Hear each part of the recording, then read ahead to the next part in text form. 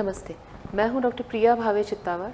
आज हम चर्चा करने वाले हैं एक टेस्ट की, जिसे कहते हैं टॉर्च टेस्ट। बहुत सारे वो दंपत्ति जिनका गर्भपात हुआ है मिसकैरेज हुआ है, उनका टॉर्च टेस्ट किया जाता है और टॉर्च टेस्ट के रिजल्ट्स को लेके दंपत्ति कई बार बहुत कंफ्यूज रहते हैं, बहुत परेशान रहते हैं और सोचते हैं कि उन्हें कोई इन्फेक्शन हो गया है। आइए जानते हैं कि क्या वाकई में टॉर्च टेस्ट पॉजिटिव होना मिसकैरेज का कारण है? और यदि किसी व्यक्ति का टॉर्च टेस्ट पॉजिटिव है तो उसके क्या मायने हैं? उसका इंटरप्रिटेशन क्या है? और उसका क्लिनिकल इम्पॉर्टेंस यानी उसका महिला के शरीर पर क्या असर पड़ता है? तो यदि हम टॉर्च टेस्ट की बात करें तो एक्चुअली ये एक शॉर्ट फॉर्म है।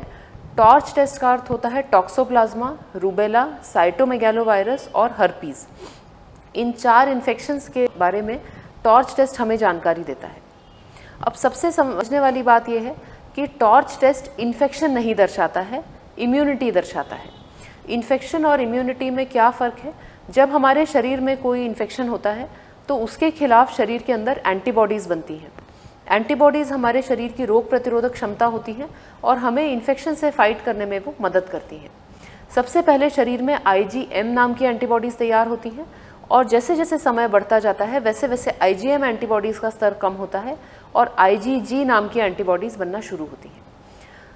टॉर्च टेस्ट की यदि आपने रिपोर्ट देखी होगी तो उसमें आईजीजी और आईजीएम इन एंटीबॉडीज़ का स्तर रिपोर्ट में बताया जाता है।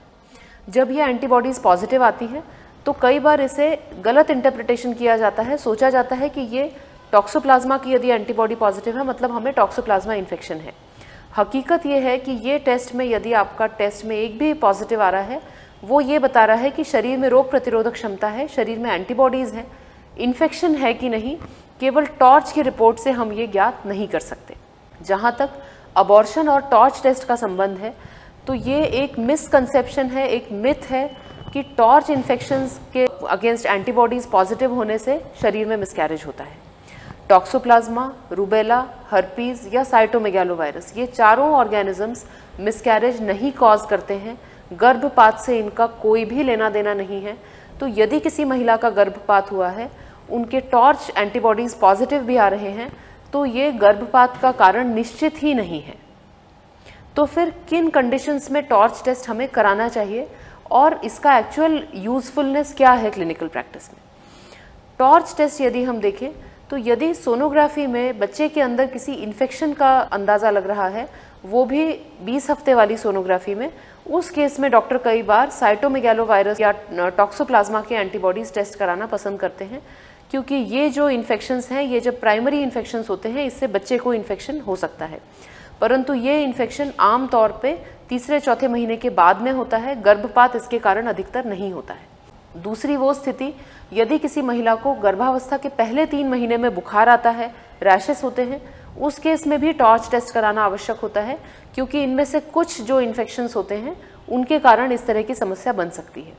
परंतु यदि आपके बार बार मिसकैरेज हो रहे हो, या एक बार मिसकैरेज हुआ हो तो ये ध्यान रखिए कि टॉर्च टेस्ट पॉजिटिव होना इसका कारण बिल्कुल नहीं है, और टॉर्च टेस्ट पॉजिटिव आने पर किसी भी तरह का ट्रीटमेंट देने का कोई फ़ायदा नहीं है, क्योंकि टॉर्च टेस्ट जो है, ये एंटीबॉडीज़ रोग प्रतिरोधक क्षमता दिखा रहा है इन्फेक्शन नहीं दिखा रहा।